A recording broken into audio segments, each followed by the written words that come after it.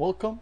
In this video I'll show you how to recover messenger messages. Alright, either you want to recover a deleted message or you only need to transfer your messages from another phone. Well, this video is for you. Alright, first up, let's say for example that you logged in to another phone and you see that your messages doesn't load.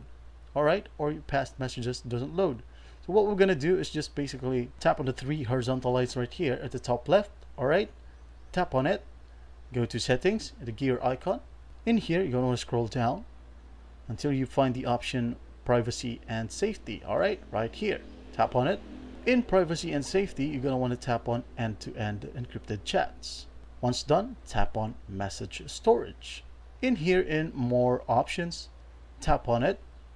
As you can see, you have the option to auto sync.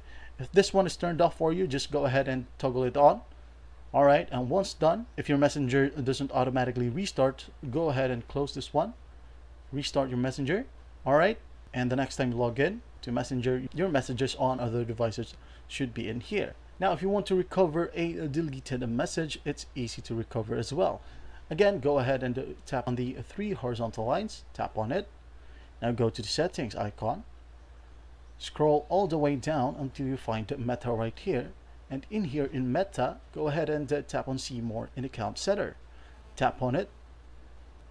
Once done, just go ahead and go to Your Information and Permissions. Tap on it as well.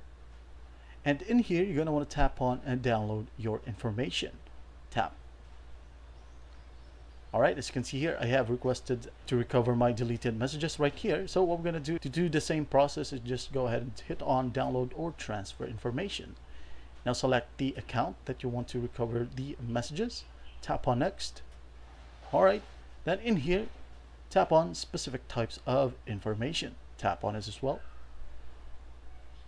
Now in here, you're just going to want to tap on messages. Alright, as the title suggests. Tap on it if you want to uh, go through these uh, sections right here or options, just go ahead and try it. All right. Now once done, just tap on next. Once you tap on next, it's going to show you this exact page right here. All right. Now what we're going to do is just basically wait until Facebook Messenger emails us. That includes the PDF or a JSON type as you will need to select one at the end of this process. All right, just wait for the email. Once you have it, view the PDF, you will have the messages right there with the person and the timestamps as well. Well, I hope this video helps and I'll see you in the next one.